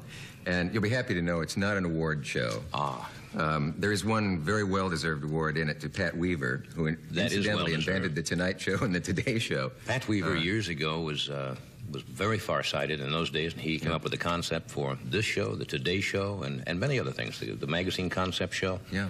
I thought it was good to mention him because had it not been for him, neither you nor I would be sitting here That is to true. mention him. That is true. So how far back do they go? They go back to the, uh, Well- the golden years, as they call them. There are some excerpts from Golden Years that are so wonderful. It gives you goose pimples to see bits from Show of Shows. Right. And bits. And there's a night when the very first Tonight Show begins. And it's Mr. Steve Allen, of course, explaining to the audience that this show uh, will be rather long and that they're doing it in a se- uh, theater. I think it was the Hudson. I that, think uh, so. That uh, sleeps 400 people and uh, some other things. And then there's the very first moment of the Today Show, which I remember. Garroway You but Yeah. you had to be there. Know, Sure. know the joke, John. Uh-huh. But it's fun to do. I go up to Toronto, do eight weeks um, of shows, uh, 24 shows in eight weeks. So you get. Is that what you've been doing? I have not seen you for a couple of years. Yeah, I did a lot of soaps and stuff like that for a while. Yeah. And then I, I got into this thing, and I love it because we can do and have fun. And there are no uh, commercial people coming around saying you can't do that, you can't. Yeah. say- You know that. Freedom. Freedom. Yeah. You're still doing your act at all? You go to No, everybody, you're talking about people dying. Uh, Dick asked me if I still did Alexander King. Remember Alexander King? He said, talk like Alexander- this all the time. Talk about his wife. She played the drums and sang as repulsive, the most ridiculous thing. Anyway, a guy from New York. a See lot how long people he's have been gone? Yeah, Yes. I know. But that's it. My act died. because all the people. Everybody I ever did my act died. Ed Sullivan you used Ed to do. Ed Sullivan, George Jessel, John Wayne. I just think about people now and they die. God. No, that's a fact. I thought about doing somebody about, you know, a couple months ago and, hmm, They went. yeah. You, you know what impressionists always do at that point? They say, now let's take a trip through those pearly gates and Yeah. see who's Yeah, there." memory lane. Show they- business heaven, I think. There was a time, you know, they go through it. You know, sitting over on this cloud at Sullivan. You know, you can do them, but nobody knows them because you're a You can do them. People still request uh, uh, deceased. I think Frank Gorshin, maybe until somebody said, goes to show business heaven. Yeah, they as soon as do. he That's said it. that, I Right. fall out of my seat, Yeah, and yeah, it they takes me have 10 little- minutes to recover. They have a little chart with violins they play, and over on that Say, cloud. now Wallace Beery. Oh, man, Wallace Beery's a long time Came through those gates 50 years ago, yeah. So, I, I always everybody- question the assumption that all those people are in heaven. I mean, I knew some of them. and- Yes. Might not have gone. Don't you do anybody currently anymore? Well, I do, you know, I do a lot of people like Rod Steiger. Rod, Rod Steiger, Steiger. is wonderful. I love to do Rod Steiger, especially when it gets better. Don't, don't do that, you look. I see him over in the coffee shop over in Malibu. You're kidding. It's over toast, uh, toast and tea, please. Uh, no, no butter on the toast. Look, you, you put butter on the toast. I don't want. I want, I want just a plain, plain, plain toast. but you know, you do people, and um, but the bulk of it, the bulk of it are people that I admired when I was a kid, and I started doing impersonations of, you know, way back to Al Jolson. John like Barrymore. Don- Lionel Barrymore. Lionel us. Barrymore, people, mm, all that stuff. but they're all gone now, and showbiz heaven. That's a fact. Remember the rumor was going around that, that George Jessel was going to do his own, had his own eulogy tape? Somebody had told me that before he passed away, Yeah, that he had taped his own that. eulogy. Yeah. And I don't think that was true. I don't. Here I am. You know.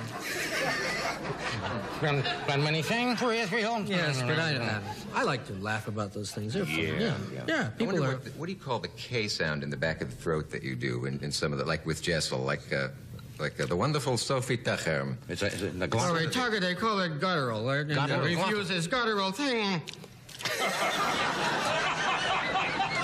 the musicians like them because they're always on the job playing this chart. One bride and trying. Yeah, but I don't. I don't study do anybody anymore. Why not? You're I doing know, well. I- oh, I started. I did Donahue. I do a takeoff Phil of Donahue? Donahue No, on, I haven't on the show. that. Yeah, but it's just you know he's got the glasses and. You know, walking up to the camera. I don't know why.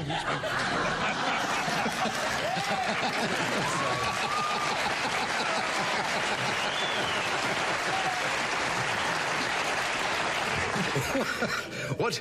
Give me an idea what you do on this bizarre show that you can tell us about It's without getting just- as. Uh, is it visual, verbal, Little vignettes of things yeah? that go from one place to another. You know, old guy doing this and a, a little kid doing this, and a, you know, little, any anywhere. It goes anywhere. Yeah. Yeah, up and down and around. It's fun, and it's great for me because I can do um, a lot of characters, and I get a chance to. Yeah, really You know, if I stayed and did a series here in town, I'd have to do the same character every week, as Yeah. you know. That's another thing I like doing about this show, and it's great. Torelli, We've, we've talked about you. The man with a cobra on. You had a man with I a don't know cobra what on? that was for. That's what you don't want. You Don't get a man with a cobra? You- The cobra. Why? Oh, I.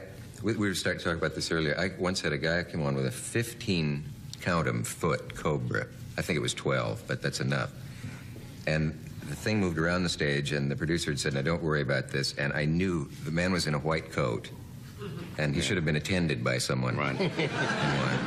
in one. And the thing started to come for me, and I saw him in another language that I did not understand but understood say to his assistant, Get him, get him, get him. Have you ever seen a 12 foot cobra come at you? It was the first time I. I It's don't, not- not I don't like to quit work with animals No, for I that haven't. reason. No. I'd rather work with want- stuffed animals than real animals. And stuffed tip-off- kids, The tip because- off is usually when the No, really. When I the mean, trainer working with kids and animals is very tough. when the when the guy brings the animal and says to you. He's used to doing a lot of shows. You won't have any trouble. That's when you call your insurance agent because you know the animal is going to either bite your face or do something. I was starting to do a scene with two chimpanzees, and, uh, and, the, and the trainer came over to me and said, This isn't going to work. he protects her. You're not going to get near her. You know, so it's be funny, okay? Get out there and be funny. And it was, ah! I was one of those. Later. I just said to the producer, I'm chicken. shit, you know. The other thing to watch else. out for is when the trainer says, I need this appearance. I really do. You know, I mean, it's going to mean everything to me, which, which means he's taking a big chance with your life. We had a we had a we had a jaguar on one night, and the trainer brought out this jaguar, good good sized jaguar, not a, not a car, a real animal. and he was feeding the. He says he likes ice cream. He had an ice cream cone, and the trainer fed him the ice cream. And he says, "Why don't you try it?" And I looked down, and down the trainer's arm. Mm-hmm. Blood is dripping all the way down mm-hmm. off his fingers onto the carpet. And he says, Do you want to feed him? Said, no. Maniac, and real blood is mm-hmm. dripping. He says, They have a lot of scars, the trainers. Yeah. That's when you experience on-camera incontinence. Yes. no, you've, have you finished all your shows, or uh, you, are you going back We and do forth? 24 a year. I, Yeah. uh, we'll go up again in May. Now, what are you doing? And now I'm working on a, a show called The Black Cauldron, a movie uh, for Walt Disney. Yeah? It's uh, animated.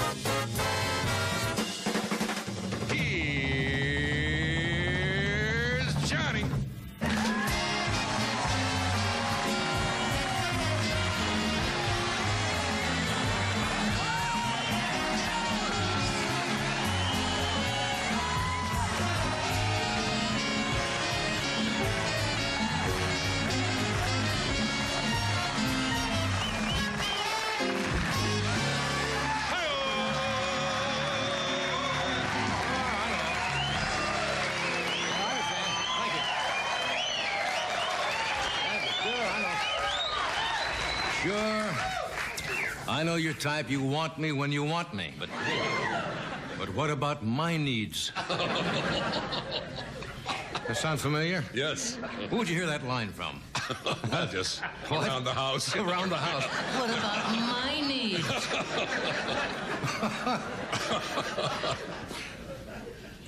All right, Tom.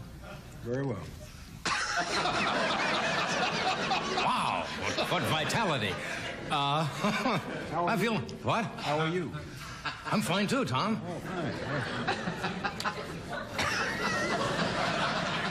Phyllis Glick, come on down.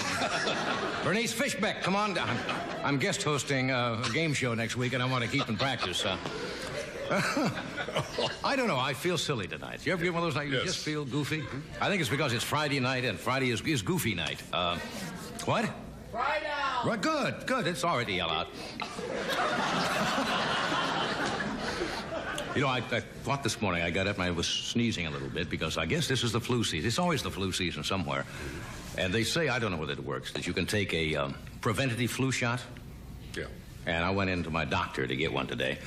I have a weird doctor. I talked about it before. Mandrake Kirby is his name. Man who pioneered open wallet surgery. Uh, uh, Mandrake is a Beverly Hills doctor, and he devotes a lot of his valuable time to working in the clinic. He removes uh, manacles from Beverly Hills slaves. Is part of his.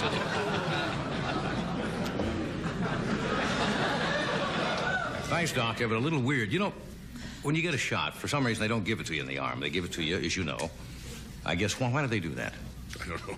What are you looking at me for? I'm not a doctor. Well, no, but I mean, when you get a shot, you don't get it in the arm. You usually get it in the, uh, the gluteus maximus. Yes. I guess that area. There's more of that than there is of your arm. Certainly is of yours.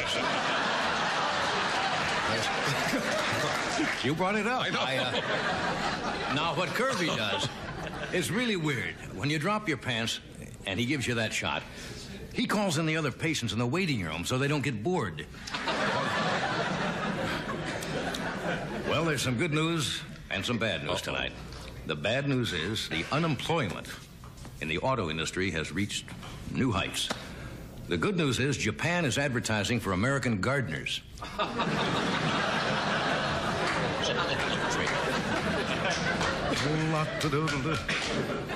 You know what I'm getting tired of seeing on television? Is the competition among the banks and all the savings alone for those new uh, IRAs. You know what that means? The individual retirement accounts. Have you seen the ads? Yes. You can put away $1,000, or you and your wife can each put away $1,000 a year. And in 30 years, you will be a millionaire. Right. Now, the problem with that is, you know what the problem is? You go into Ralph's Market in 30 years. You say, I would like a nice head of lettuce. That's $480,000. They're not telling you this. That's what's going to happen. Oh, our government again, our big hearted government, has got a new giveaway program going. Do you know what it is? They're giving away butter now. Yeah, the government has apparently uh, thousands of pounds, tons of butter in warehouses, and they announced that they're going to give away 400,000 uh, pounds of surplus butter to the poor. That's nice. Now, because now the truly needy have a well balanced uh, lunch. They've got cheese and crackers for hors d'oeuvres, butter as a main course, and ketchup is a side dish. I, um, I like the Reagans. I really do. Um, I wasn't invited back like our, our producer was, Mr. DeCordova, who was just returned from Washington from a state dinner. How was it? It was lovely. Really lovely? It Was A lot of butter. a lot of butter? At a state dinner for President of Mubarak of Egypt, and I, I like the Reagans, but sometimes I feel that maybe they're a little out of touch with the problems of the common man. Now, I, I could be wrong. Uh, for example, Nancy thought it would be a great idea to give butter to the poor. She says now they'll have something to dip their lobster tails in.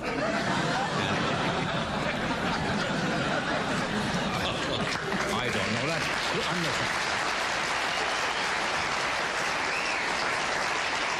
No, we have an administration with a heart. Today, Vice President George Bush announced that he's going to give the poor any surplus bricks that fall on his car so they can build cheap housing. Uh, why didn't you stay over? Doesn't the president have a birthday coming up? Yes, sir, but you're my star. Oh. Man knows where the checks come from. Nothing like mercenary loyalty. No. no, tomorrow is the president's 71st birthday. And, um, yes, that's nice. Happy birthday, Mr. President. And they're going to give him. And they're going to give him a cake with a candle on the cake for each year. And Lorne Greene and his Code Red team will be standing by in case the blaze gets out of control. Uh, what else happened? Every day you pick up the paper, you read about another president that was taping conversations in the White House. Now, we know that Nixon did. We found out that FDR taped years ago. Uh, John F. Kennedy apparently taped several hundred hours of conversations. As a matter of fact, I saw an ad on cable TV last night where you could call for a six album set, The Best of the White House. It's the same 800 number you call for the Slim Whitman album. Well, trying to think of some good news. How many of you are familiar with Freddie Laker's uh, airline? Apparently, out. Call it the SkyTrain. Apparently, it went went bankrupt. Yeah, apparently, yeah, that's what they said. Apparently, people didn't like the no frills uh, flights. You see, if, if did you ever fly Laker Airways? It wasn't. Uh, it's nice, but he didn't even put an occupied sign on the on the restroom door. If you wanted privacy, you had to hum while you were in there.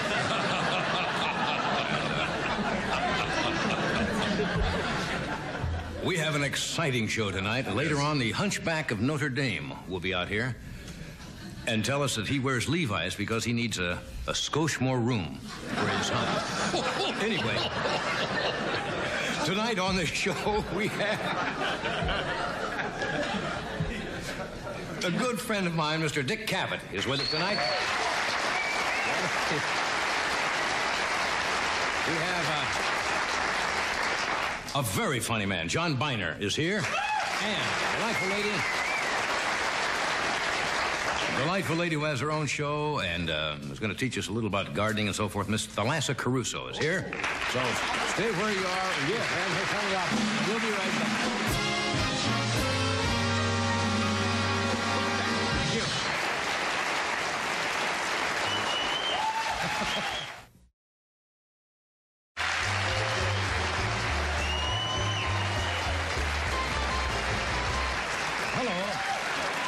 certainly been waiting for you. You want to, uh... Hello, uh... Wanted to ask you something. You want to join a health club? I can get you, I can get you a deal in a health club. Be great, I better tell the audience at home What what, what has so funny. transpired during the. We have a little question and answer session with the audience, and uh, some young lady, I assume it's a young lady, right? Yes, he's young. Joined the health club, and apparently she gets a free membership if she can get two more members to Right. to sign up. So So she asked you to join. I've joined, and I'm calling me. Sinatra because I know he wants to He go. wants to join. That'd be great. We'll join. She'll get a free membership. Sure. I have a um, congratulatory message here. For me? No, no, no. Oh. This is for one of our affiliates.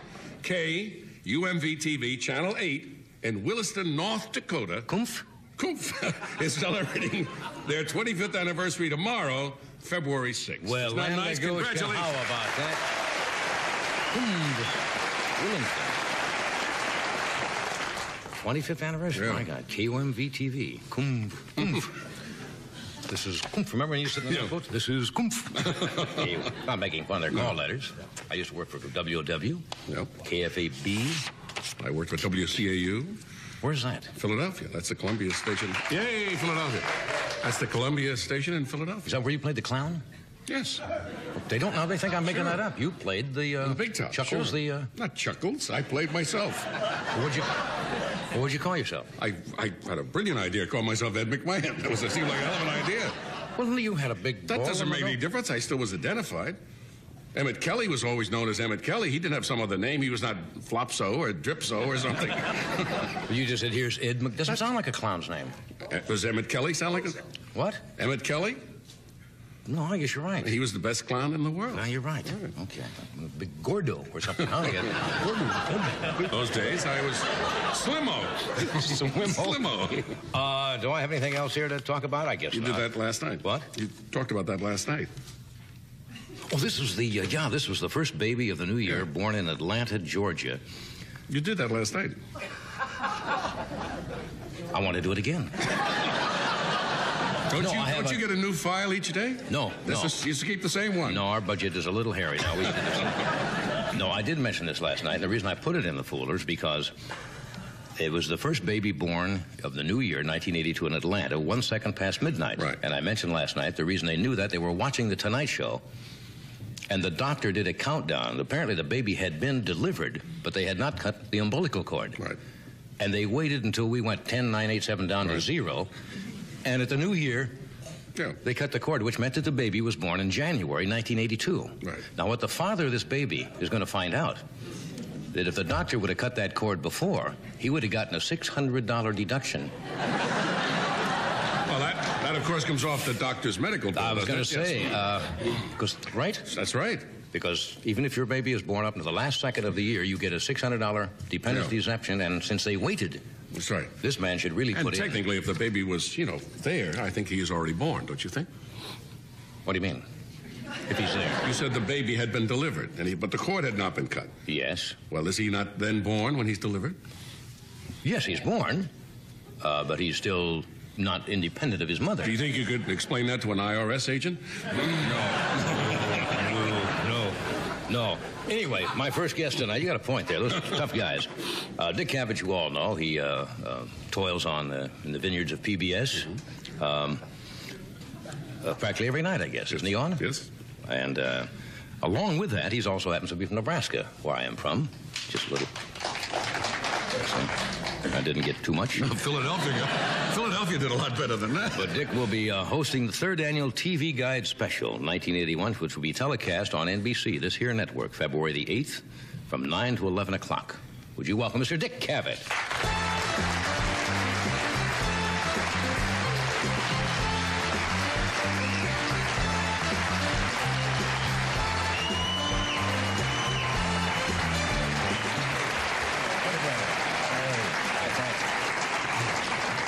I was so hoping when I saw you in the hallway wearing your little jogging shorts. A man was in the hallway in jogging shorts that you were going to jog out here. Have you, have you been out doing your My little jogging shorts? Yes. Yeah. Uh, You have know- cute, you, cute legs. Yes, I know, but uh, the thing is that I, I have a ritual. Whenever I'm on this show, the first time I was explaining this communication center on our 49th Street window. Is anyone old enough to remember that?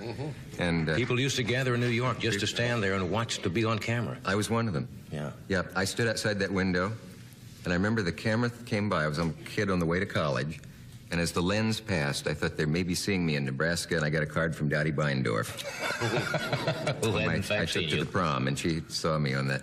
Um, what else can I tell you about it except that it is wonderful that nobody comes up and says no one wins an award alone, and I must thank all the. Yes. I remember once he said um, on an award show, I think it was an Emmy show, um, I would like to see someone come out and say, if it hadn't been for all the little people behind the scenes, we could have done this show faster and cheaper.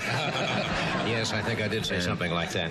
I thought that was such a witty remark. I wrote that for you. by the way. Well, that, probably why I delivered Well, no, it well that, then. was after that. What, uh, you came out with a cane. Is there a reason for this? Oh, by the way, I was going to tell you, they, Yeah. they had, of course, your entire career to pick from because they do a whole segment on late night. And uh, the first Walter Cronkite talks on the show about. Oh, I asked him. You're seldom criticized, and on this thing, he talks about a major event in American television history that he feels he blew.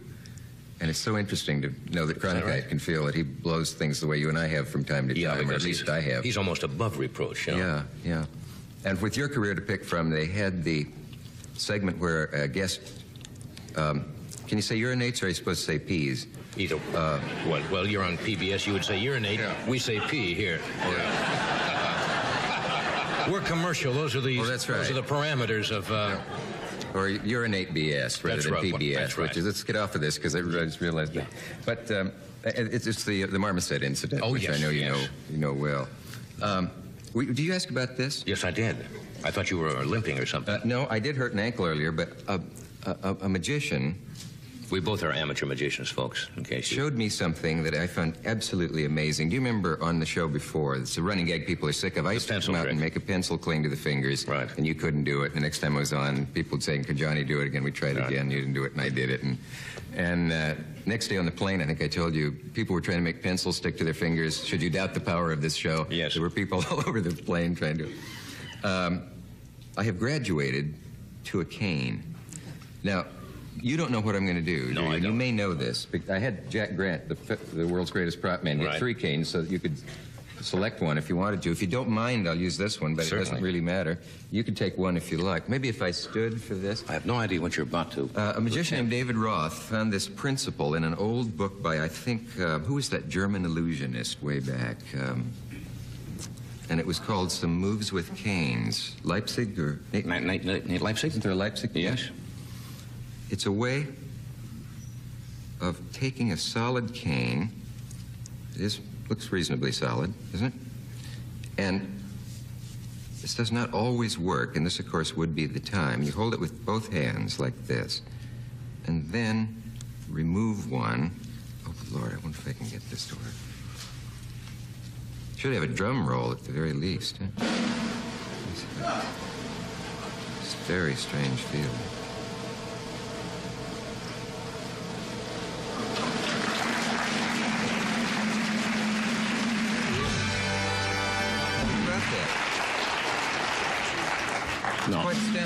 Aren't you simply balancing that on the little fleshy part of your Well, here.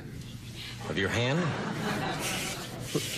You don't need all of this jazz No. with it. I mean, that's, That's, that's, that's to be accompanied by harp music. that's all phony. Let's get right to the Well, big don't stuff. point that out. Yeah. Fleshy part. Oh, I don't. Well, you- Yeah, there's a little. You can't have the thumb in front. Oh, I see. Mm, Oh, that There- would be cheating. There is a little fleshy part of the of the hand right there. Was it not? Well, yeah, but it isn't going to sit on that. I mean, it's really strange.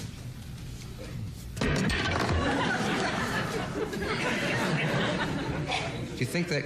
No, no, no, is that not weird?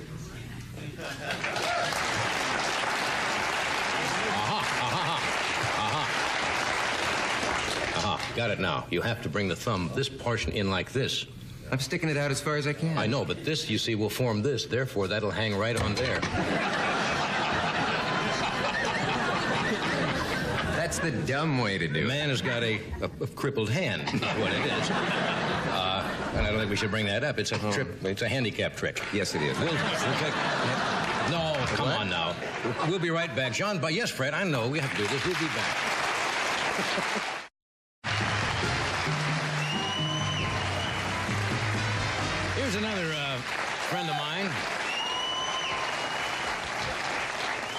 We were both talking about John Byner, and Dick and I are both fans. Um, John has uh, been busy. He is the star of the first television series produced especially for cable television, a show called Bizarre. I saw a promo for it the other night.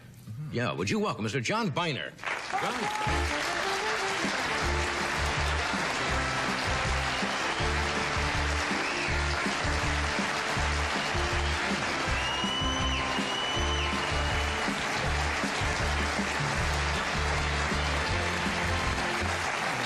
Right, right away. No, I faked it. It's Oh, a piece of fellas backstage, you know. true magician never reveals his secrets. You sign that in blood as a youngster. I know that. The thing that Shocking. the thing that bothers me is when I find out about a trick. You know, sometimes people will tell you. About It's not much fun, is it? No, nothing's fun after that. You You're just sit there amazed. You say that's the most wonderful thing I've ever seen. Tell me how you did it. And the guy tells you, you go, oh, is that all? Yeah, And it's over. That's right. The charm. How, what, I saw a promo for your show the other night. Yeah, for Bizarre. We're having fun doing it. It's the third looked season. weird. Yeah. Yeah. It is weird. It's bizarre. Is what it's called. That's why they call it that. It's Yeah. weird. It's crazy and uh, wild. Now, why did you do this for cable? Is this something you could not do for Uh, the general? it gives me it gives me the opportunity to. Um, first of all, we're allowed to be uncensored. You know, we can do all kinds. In fact, uh, the little clip I sent here was didn't get past your censors. No, they didn't tell me about that. Yeah, well, they were afraid to. Why was it? Uh, I think it was the sound of a clank that upset them.